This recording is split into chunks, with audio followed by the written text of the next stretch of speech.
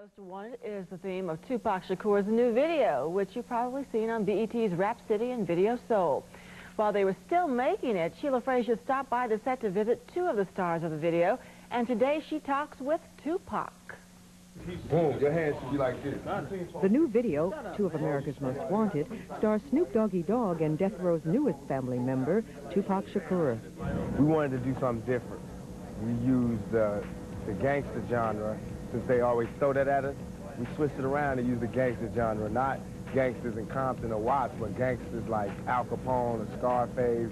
This video is about like uh, bringing that genre to life throughout the rap, you know, using rap as the, uh, as the form.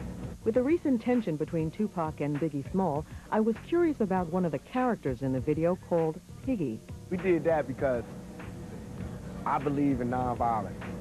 And I believe that if I have a problem with somebody, I can address the issues on wax. And instead of using the, the records to be a, um, a basis for us to have a war, what I do is drop little lugs every now and then in the videos. Please don't take me out the game. I ain't gonna kill you, homeboy, because we was close once.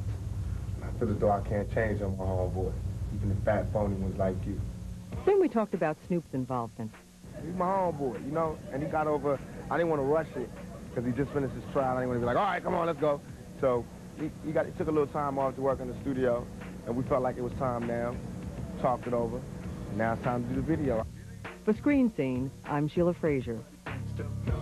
Tomorrow, Sheila talks with the other half of two of America's Most Wanted, Snoop Doggy Dogg. That blood looked very authentic. Uh, it did.